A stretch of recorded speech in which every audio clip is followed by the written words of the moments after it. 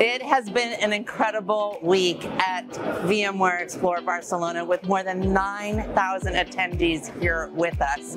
What an Explore season it has been. We have been to Las Vegas. We have been to Singapore.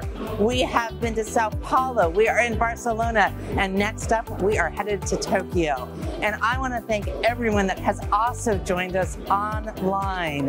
It has been fantastic to share Explore season with you. We have covered multi-cloud complexities. We have covered AI and everything generative AI coming out of all of our announcements. And we cannot wait to continue to share more of this with you throughout the coming year. And I'm excited to share that not only have we announced that we are returning to Las Vegas next year, we will also be back in Barcelona. And so get ready, save the dates, and we will see you there.